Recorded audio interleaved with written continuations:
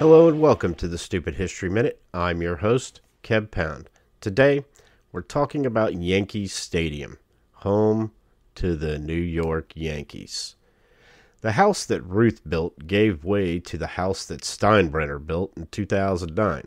Built across the street from old Yankee Stadium, the new facility, which was designed by Populous, maintains the classic look of the original stadium, but is enhanced with all the modern features of late 20th century, early 21st century designs.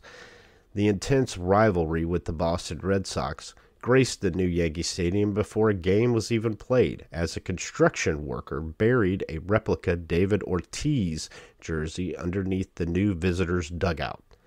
The Yankees ordered the jersey exhumed during construction and donated it to the Red Sox charity, the Jimmy Fund. The Yankees then won the World Series in the stadium's first season, denying this attempt at a reverse curse.